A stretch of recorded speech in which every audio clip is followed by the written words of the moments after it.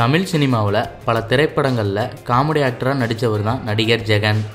இவர் இப்போது விஜய் டிவியில் ஆங்கராகவும் அப்பப்போ படங்கள்லையும் நடிச்சிட்டு வராரு.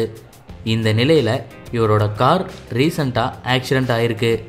அதனால் ஒருத்தர் உயிர் இழந்துட்டாரு இதை பற்றி இந்த வீடியோவில் பார்க்கலாம் நேற்று ஈவினிங் ஜெகன் வந்தவாசியிலிருந்து சென்னைக்கு தன்னோட காரில் வந்துட்டு இருந்தார். அப்போது வந்தவாசி பக்கத்தில் இவரோட கார் ஒரு பைக் மேலே மோதியிருக்கு. இதில் ஹுசைன்ங்கிற ஒரு இளைஞர் காயமடைஞ்ச நிலையில் ஹாஸ்பிட்டலுக்கு கூட்டிகிட்டு போயிருக்காங்க. செங்கல்பட்டு ஹாஸ்பிட்டலில் அட்மிட் பண்ணப்பட்ட ஹுசைன் சிகிச்சை பலன் இல்லாமல் உயிரிழந்துட்டாரு. இது சம்பந்தமாக வழக்கு பதிவு செஞ்ச போலீஸார் ஜெகனை போலீஸ் ஸ்டேஷனுக்கு கூட்டிகிட்டு போய் விசாரிச்சிருக்காங்க. அப்போது இவர் என்ன சொன்னாருன்னா நான் அதிகமாக டிரைவ் பண்ண மாட்டேன். டிரைவரை வச்சு தான் ஓட்டுவேன்.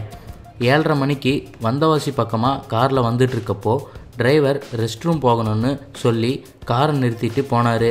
அப்போது ஹுசைன்கிறவர் குடிபோதையில் வண்டியை ஓட்டிட்டு வந்து கார் மேலே இடிச்சிட்டாரு. அப்போது நான் காருக்குள்ளே உட்காந்துட்டு இருந்தேன்னு சொன்னார்.